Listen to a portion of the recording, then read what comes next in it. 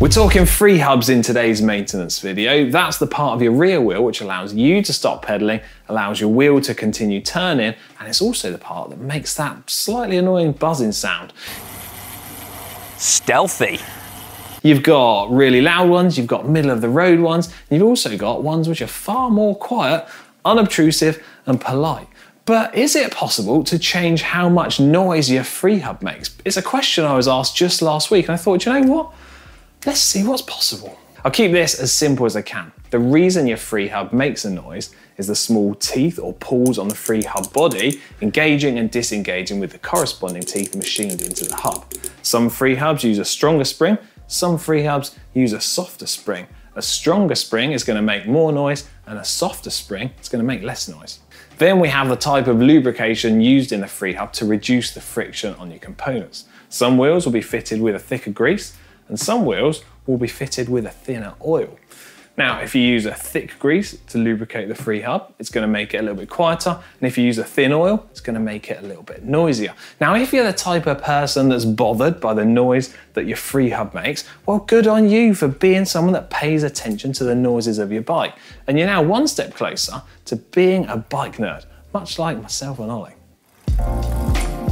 As our wheels are used, over time, the lubrication inside the free hub body is going to start to dry up and perhaps be washed out.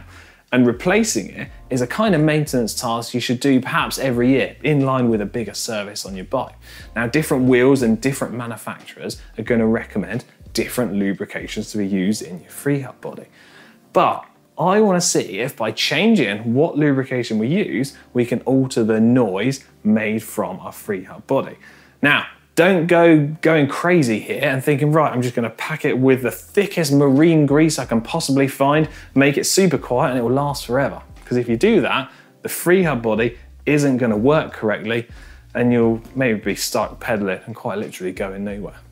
Oh, and to see how much difference there is in the noise, I'm going to use an app on my phone that uses the microphone to give me a decibel reading of the noise from our free hub. I should probably see how noisy this thing is before we do anything to it. So I've got the phone on the side. Let's spin it up.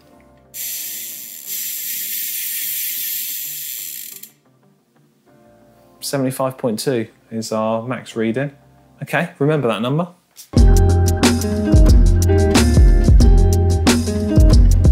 So I've got a free hub removed off my Zipp wheels. Super easy to remove it off of those. You just slide it straight off. Now, if the wheels that you're using, it's not quite as easy to remove the free hub, chances are you're gonna to need to use some hex wrenches or a couple of cone spanners. And if you're unsure how to remove your free hub, well, we've got a separate video detailing just that. So first things first, I'm gonna need to get this free hub body cleaned up. And to do that, I'm gonna use some disc brake cleaner and a rag, because it does actually look like it needs a good clean. Perfect timing, eh?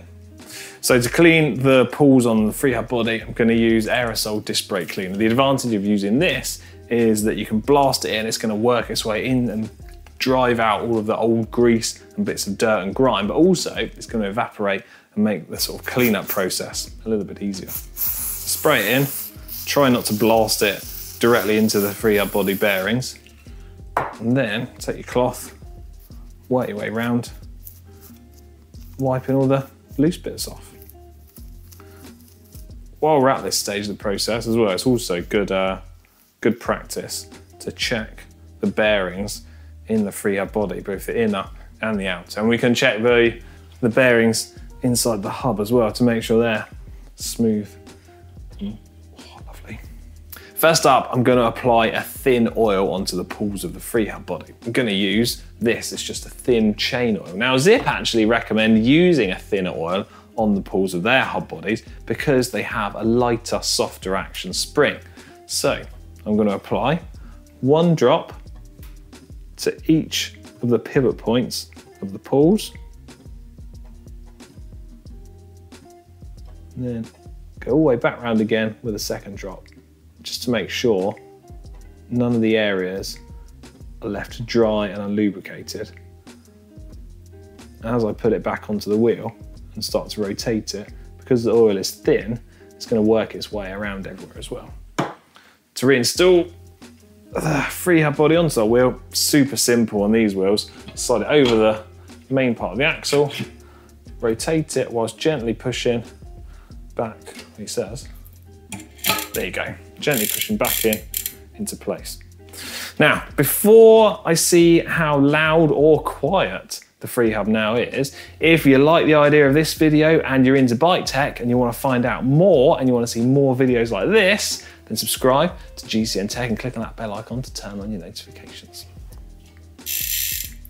Right, thin oil in our FreeHub body, ready to spin it up. So let's reset our decibel meter. Away we go.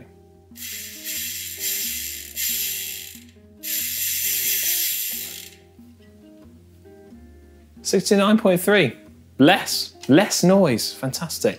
Right, next thing we need to do is get the FreeHub body off, clean it up, repeat the process we've just done, and then put the thick grease in. Let's do it.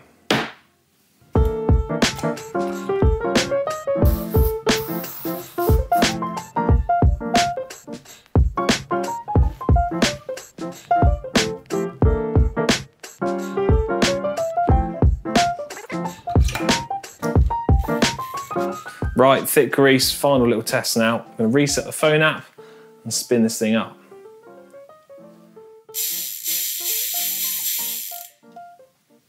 Oh, well, slight variation, but I gotta say, it's pretty much in line with the thinner oil and the difference between the original one, the thin oil and the thick grease, we're talking in the region of a few decibels here and there. So I guess the answer is yes, you can change the noise of your FreeHub ever so slightly, but it isn't gonna make a huge difference.